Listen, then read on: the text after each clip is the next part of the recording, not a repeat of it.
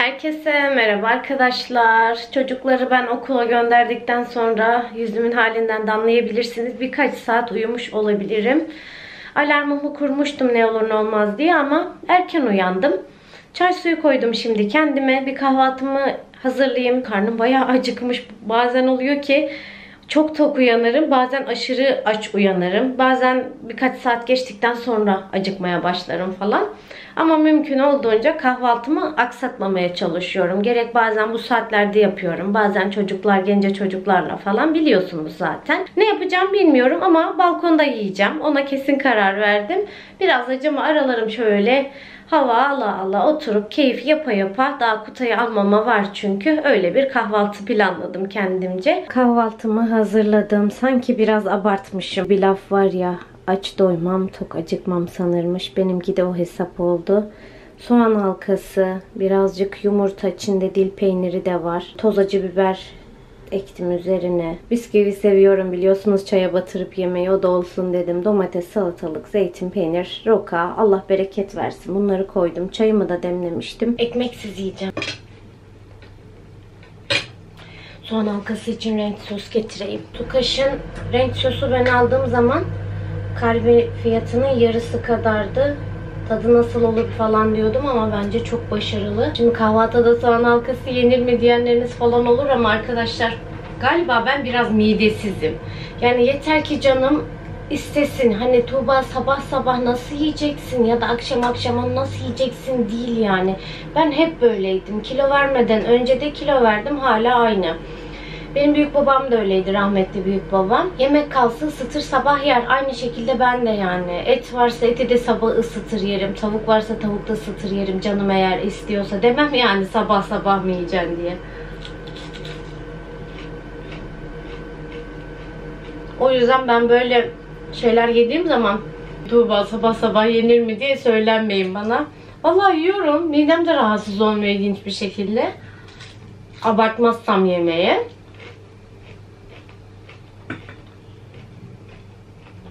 Bir arkadaş yazmış Tuğba neden bu balkon camlarını bu şekilde yaptın dışarı görünseydi diye. Arkadaşlar buraya tül falan takmak istemedim. Burada borular falan vardı. Tek bir boruya düşürdük. Çok sıkıntılı oluyordu. Muhakkak ki cama benim bir şey yapmam lazımdı. Çünkü bizim ev hep bitişik. Yani burası hep ev. Size gösterebilirsem eğer.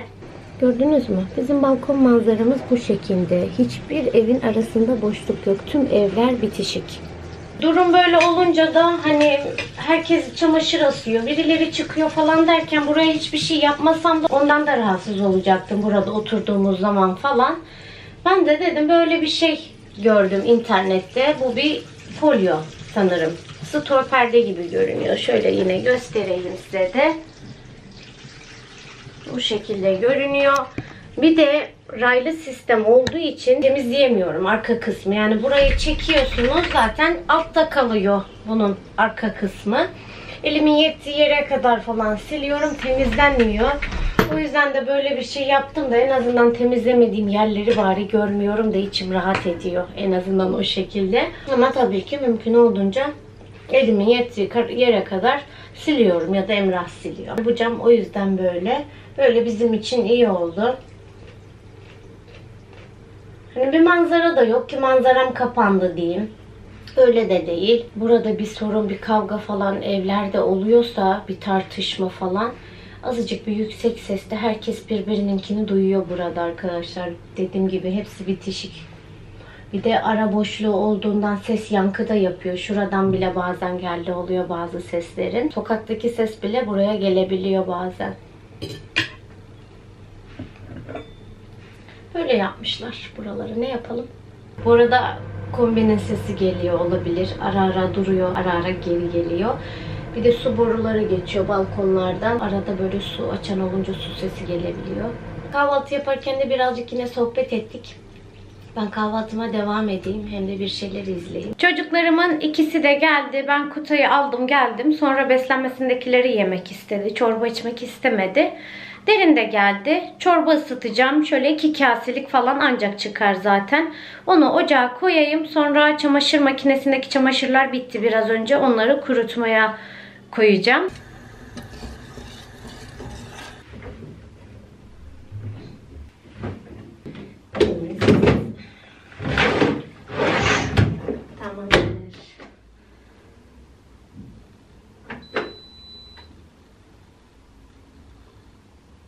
Çocuklar odasına gitti. Çorbalarını içeli bayağı bir oldu. Derinin ödevi var. Ödevini yapıyor. Kutay da kendi masasında oturdu. Boyama yapıyor. Ben de biraz önce Migros Sanal Market'ten alışveriş yaptım. Muhtemelen bir yarım saati falan gelir. Canım Ramazan şerbeti istiyor. Ramazan bitti. Bulamıyorum bir yerde. Baktım Migros'ta var. Migros'tan aldım. Yufka alacaktım. Yufka aldım. Yumuşatıcım bitti. Sonunu kullandım bu çamaşıra.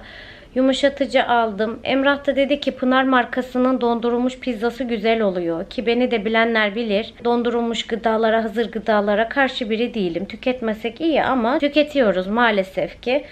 Sağlıklı, sağlıksız artık herkesin kendi kararı elbette. Ama gelin görün ki dondurulmuş pizzalarla hiç aram yok. Dondurulmuş pizzaların o hamur kısımları falan benim pek bir hoşuma gitmez. Yani birçok markayı denedik. O yüzden ben kolay kolay dondurulmuş pizza almam.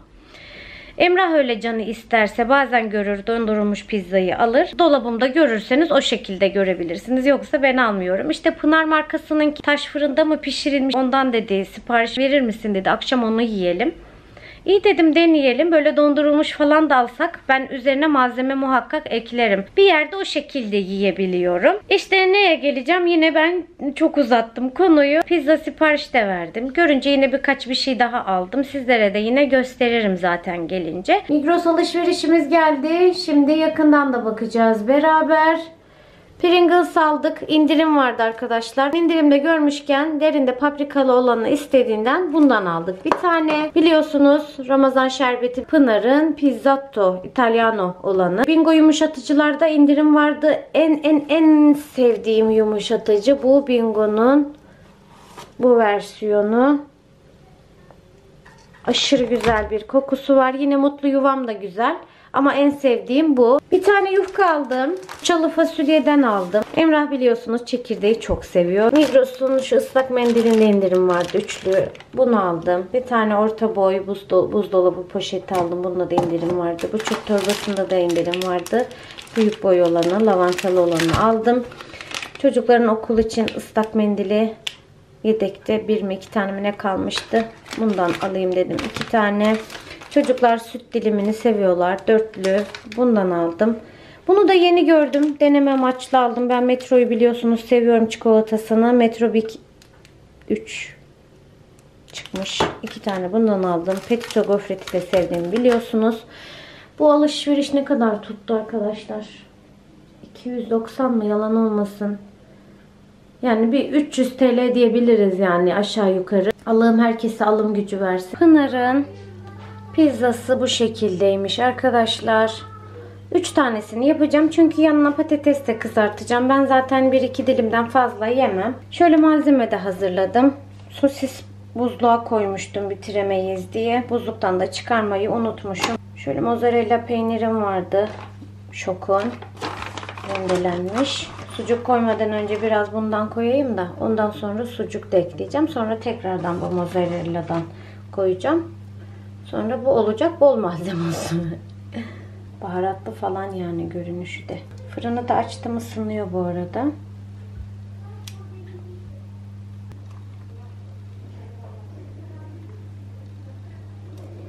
Bunu 200 derecede bir 15-20 dakika pişireceğiz. İşte bu kadar. Bu şimdi fırına gidiyor. Pizzalar çıktı ama patatesleri alıyordum ilk partını.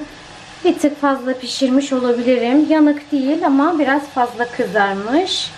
Şu şekilde hemen tabaklarımızı da hazırlayayım. Size onları da göstereceğim. Pizza menümüzü bu şekilde hazırladım arkadaşlar. Şu tabak Emrah'ın. Bu tabak kızımın ki o da ben iki dilim ancak yerim dedi ama olsun koyduk artık. Belki yer. Burada Kutay'ın tabağı, burada benim tabağım. Emrah'la benim patates kızartmalarımıza baharat ekledim. E, sos olarak da ikimize ranch ve chipotle kullandık. Çocuklar e, biri mayonez, biri ketçap. Aa Kutay ketçabı seviyordu. Neyse karıştırdım sosları ama neyse tabaklardakiler aynı zaten. Emrah'la kendimize de ortak salatalık ve acı biber turşusu koyduk. O zaman ne diyelim bize afiyet olsun. İki videodur aynı yerden videoyu sonlandırıyorum farkındayım. Çünkü gün içinde biliyorsunuz ki koyu renklileri katmıştım. Onları katlayacağım. Kurudular. Bu arada pizza gerçekten hiç fena değildi. Yani şu zamana kadar yediklerimin içerisinde en başarılı pizza hamuruna sahipti diyebilirim açıkçası. Çocuklara meyve doğradım. Ee, sonra tirliçe yediler. Ben daha tatlımı yemedim. Bilmiyorum. Belki bir tane atarım ağzıma çamaşırı katladıktan sonra. Ondan sonra çocuklar yattılar. Emrah'ın da biraz işleri varmış. O zaman dedim ki Emrah uyuyana kadar ben hemen buradaki katlanacak çamaşırlarımı katlayayım. Çocukların odasına yerleşecekleri sepetin içine koyarım. Onları yarın yerleştiririm. Odalarına bir daha girmeyeyim. Gerisini hallederim dedim. Evet yani bugün de bitti anlayacağınız. İnşallah hoşunuza giden bir video çıkmıştır ortaya. Beni izlediğiniz için, bizleri izlediğiniz için teşekkür ediyoruz. Sonraki videoda inşallah görüşürüz. Kendinize çok iyi bakın. Hoşçakalın.